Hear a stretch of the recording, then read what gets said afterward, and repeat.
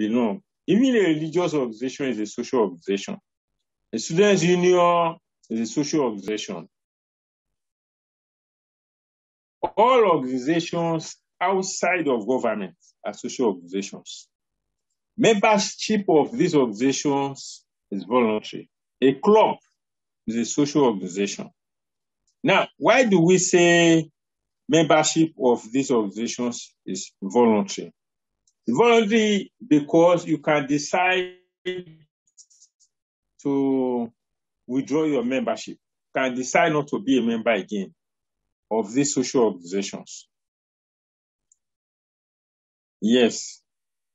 But uh, government, membership of a government is not like that. When you are born,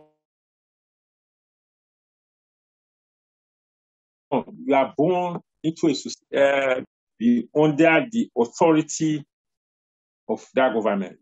Can't choose not to be a member of that government. Of course, government in this case enjoys um, the same jurisdiction with the state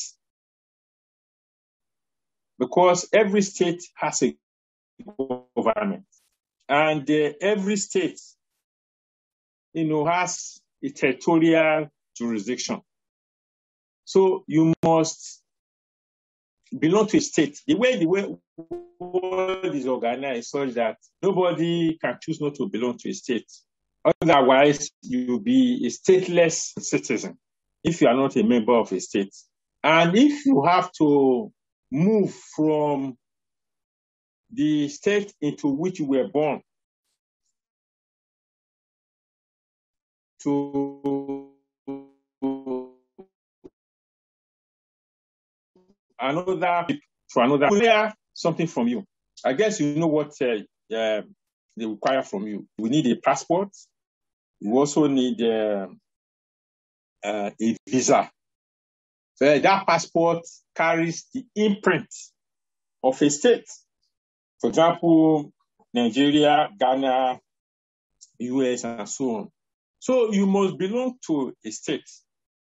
And you can belong to a state that is, by extension, belong to the jurisdiction of a government by birth. That is uh, talking about citizenship by birth. Yes. Um, there are other ways of acquiring citizenship. Each state has its own other rules of acquiring citizenship. Maybe you have lived there for five years, you have lived there for 10 years, and be found to be law abiding and you apply and the state chooses to grant your application. And sometimes the, the state may require you to be able to speak its major language uh, uh, uh, fluently, to use it fluently. So if you meet the requirements um, stipulated by the state, then you can be granted citizenship of that state. And once you become a member, a citizen of a state, and then uh, your membership becomes involuntary. That is, insofar as you are within that state. You can renounce your citizenship, but what we are saying generally is that you can't decide, you know, every now and then uh, to choose whether to be a member of a state or not to be a member of uh, another state. Yeah, you cannot. So voluntary membership is one other distinguishing uh, feature of the government. Now, let me ask whether um, you have kind of understand. What do you mean that you can't understand? What have I said? You know, we said uh, we are focused on the distinctions between government and other social organizations. That's what we said we are doing. And we said government has enjoys comprehensive authority. We explained that um, other social organizations can make rules for members. Those rules which they make are binding only on members. They are not binding on non-members. For example, uh, if uh, you we illustrated with the University of Ibadan earlier uh, um, that uh, University of Ibadan for several years was not uh, offering courses that are called general studies courses, which are meant for students of uh, non core discipline. For example, if you are a student of uh, faculty of uh, the social sciences, you are not, uh, you are required to take courses, take GS courses offered by other faculties. So if you are a student of uh, faculty of social sciences, the GS course uh, of the faculty called GS 103, that is government, uh, economy, and society, is not meant for you because the intention is to uh, give some basic knowledge of the discipline of, uh, I mean, of the social science disciplines, psychology, economics, political science, geography, um, sociology. To, you know, uh, give some basic knowledge of these disciplines to students who are not core uh, students of uh, any of these disciplines. So that's the idea of GS. Then, so students of uh, the Faculty of Social Sciences would be required to take the GS course like, um, you know, GS 105, which is uh, offered by Agric, Faculty of Agric. Uh, 103, I think is a science course offered by the Faculty of Science. So the idea is have be a rounded person. By time you um, complete your degree pro- program in, say, sociology, political science, geography, you have an idea of, you have some knowledge of science, have some basic knowledge of science, basic knowledge of uh, uh, agriculture, and so on and so forth.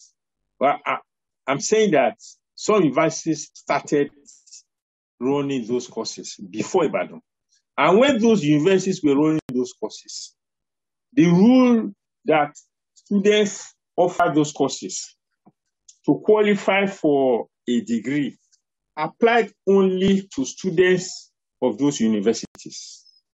They did not apply to students of the University of Ibadan. That's what we're saying. So in that way, the rules made by a social organization are binding only on members of that social organization. So they are not binding on non-members. By contrast, the rules made by government are binding on all members. That is all in the jurisdiction of government. And we are using government in this case um, interchangeably with the state because the state's jurisdiction is the state is the government jurisdiction. That is, the government of that state enjoys the same jurisdiction with the jurisdiction of that state. So that's what we are saying. So, and I illustrated this with uh, BVN, basic verification number. You know, when the federal government of Nigeria decided that uh, to, uh, for some reason, maybe to uh, be able to track fraud, fraudulent behavior, so every person within the Nigerian geographical territory must, who has anything to do with a bank that uh, is within Nigeria geographical territory must have a BVN number. And if you don't, they will place an embargo on your account. You can't run your account. Yes. So that makes that rule. You can't say, oh no, I don't like that rule. And if government decides to um, make a law which you don't like as a person, you can't exempt yourself. You have to you obey that law. So that's what makes this authority comprehensive. Of course, there are rules that our government makes that we don't like. Some people don't like. But we are under obligation to obey those rules. Because if you don't, government has the authority, as we are going to see uh, later, when we talk about uh, uh, the authoritative rules which government, you know, also enjoys. Government has the authority to punish any disobedient person. So that is for comprehensive authority. I, the second distinction that uh, I mentioned is that government uh, membership of government is uh, involuntary. In other words, once you are within the territory, jurisdiction over which the government enjoys authority, you are compulsorily a member of that jurisdiction, controlled by government.